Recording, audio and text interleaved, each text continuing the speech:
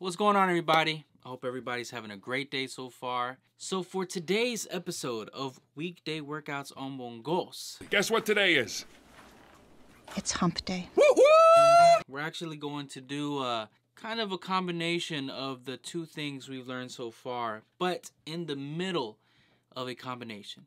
A combination of a combination. Oh, yeah.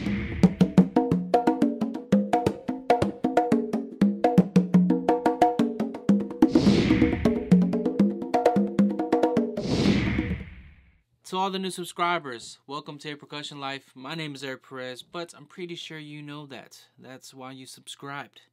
But thank you. And if you haven't subscribed already, just hit that subscribe button. Yes, we are doing videos this whole week, so uh, if you caught this channel, you caught it at a good time. And to all my day ones, man, I seriously appreciate you guys, all the love, the support, all the comments you guys are giving so far this week, man. Seriously means so much to me, man. So uh, I do appreciate the love.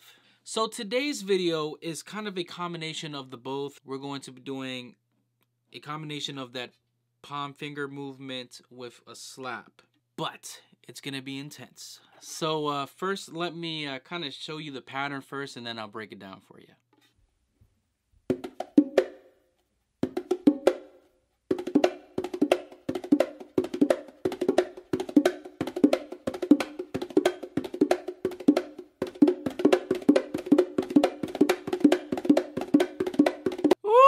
You gotta love it, man. So uh, this combination is pretty simple. What we're going to do first to start the whole combination is a base on the hembra. So it's gonna be kind of like towards the center. More use of your palm right in the middle. After doing that base on the hembra, you're going to do that palm finger movement I showed yesterday. So it's gonna look like this. So to put that together,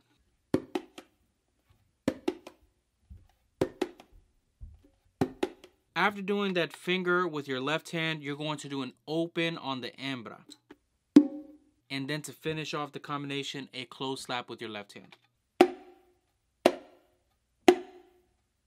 So to put the whole combination together, it's going to sound like this.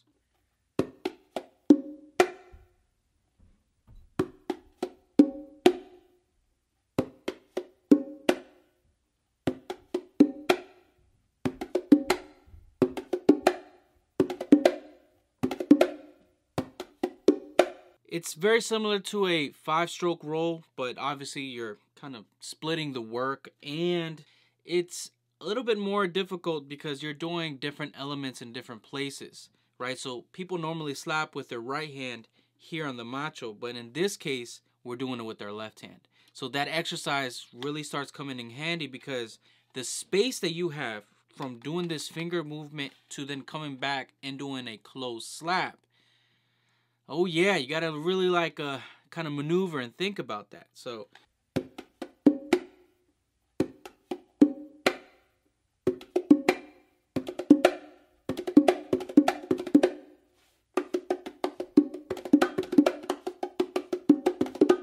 And most of y'all are probably wondering, well, why do I even need this? Seriously, rarely you're probably set up like this, especially if you're playing seated and and not on a stand. It's the bongos are in between your legs. But doing these type of movements, one, not a lot of people play that way, man. Two, it's really gonna kind of force you to work with your left hand and not put all the burden on your dominant hand.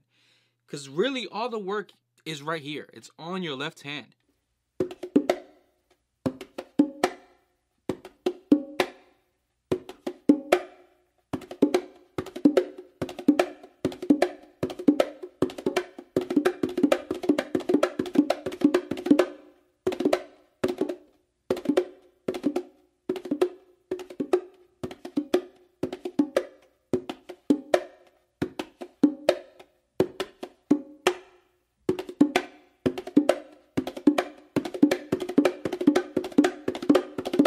And what if you start to speed it up, what you start noticing is you start doing kind of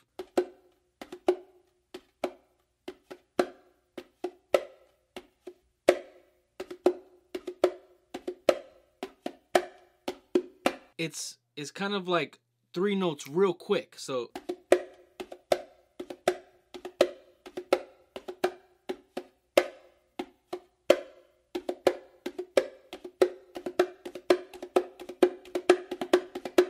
really cool, man. When you start developing that, it makes things a lot, a lot simpler. All right, y'all. Y'all already know what to do.